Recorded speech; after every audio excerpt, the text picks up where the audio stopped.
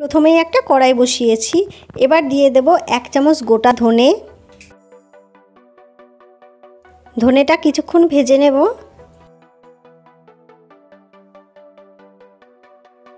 এবার দেব এক চামচ গোটা জিরে। জিরেটাও একটু ভেজে নেব। তারপরে দিয়ে দেব হাফ চামচ মতো রাঁধুনি।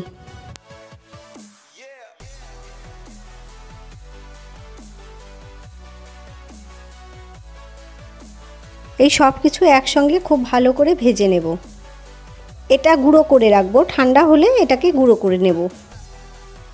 ভাজা হয়ে গেছে, এগুলো তুলে নেব। এখন কড়াইতে জল দিয়ে দেব তিন চার কাপ মতো।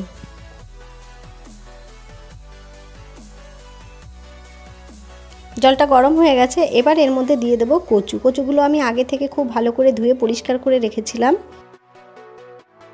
এগুলো দিয়ে এবার সেদ্ধ করে নেব। এখানে কড়াইতে এবার আমি সর্ষের তেল দিয়ে দেব। দু টেবিল চামচ মতো সর্ষের তেল দেব। তেলটা গরম হয়ে গেছে, এবার দিয়ে দেব অল্প একটু গোটা জিরে। জিরেটা চার পাঁচ সেকেন্ড ভেজে নেওয়ার পরে দিয়ে দেব টমেটো, কাঁচা লঙ্কা আর আদা পেস্ট করে রেখেছিলাম, ওটা দিয়ে দিলাম। এগুলো একটু ভেজে নেব। ভেজে নেওয়ার পরে এর মধ্যে দিয়ে দেব হলুদ গুঁড়ো, হাফ চামচ মতো হলুদ গুঁড়ো। স্বাদ অনুযায়ী লবণ, হাফ চামচের কম লঙ্কার গুঁড়ো। লঙ্কার গুঁড়োটা কিন্তু কালারের জন্য, ঝাল হবে না। কারণ টমেটো পেস্টের সঙ্গে কাঁচা লঙ্কা দেওয়া আছে।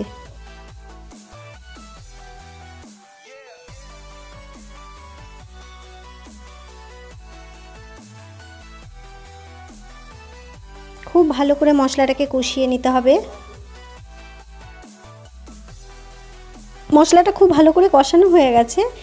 এবার এর মধ্যে দিয়ে দেবো আগে থেকে সেদ্ধ করে রাখা কচু। সেটা মাঝখান দিয়ে অর্ধেক করে নিয়েছি, এটা দিয়ে দিচ্ছি। কচু দেওয়ার পরে খুব ভালো করে মশলার সঙ্গে কচুটাকে কষিয়ে নেব। আর হ্যাঁ যদি আমার রান্নাটি ভালো লাগে, তাহলে অবশ্যই আমার চ্যানেলে যদি আপনি নতুন বন্ধু হন, তাহলে আমার চ্যানেলটিকে সাবস্ক্রাইব করবেন।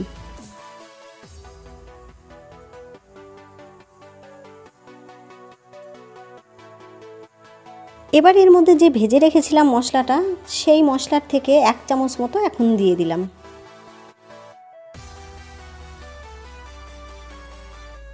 খুব ভালো করে নাড়াচাড়া করে দেব।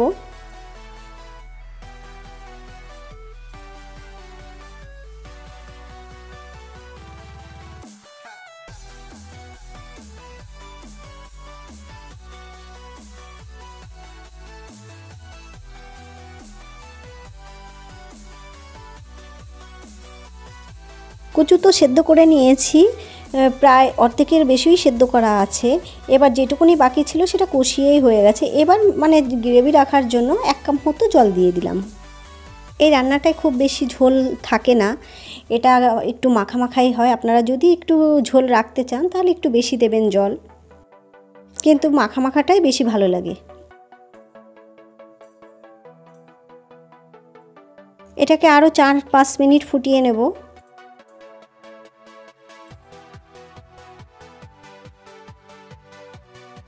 হয়ে গেছে।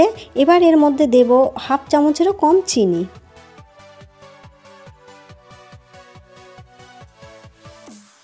খুব ভালো করে কচুর সঙ্গে মিশিয়ে নেব।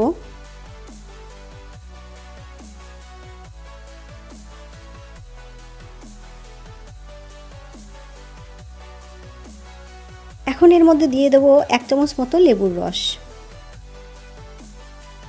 এইভাবে রান্না করে দেখবেন অসাধারণ লাগে। বেশ টক ঝাল, মিষ্টি, খুব সুন্দর লাগে খেতে। ভালো করে মিশিয়ে নেব।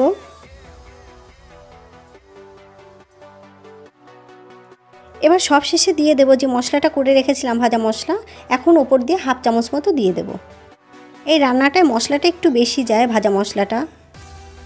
এবার খুব ভালো করে নাড়াচাড়া করে নেব। এই দেখুন, হয়ে গেছে। এই রান্নাটা যাকে করে খাওয়াবেন একবার, সে আপনাকে বারবার রান্না করার কথা বলবে। আর এতক্ষণ আমার ভিডিওটি দেখে আমার পাশে থাকার জন্য আপনাদেরকে অসংখ্য ধন্যবাদ।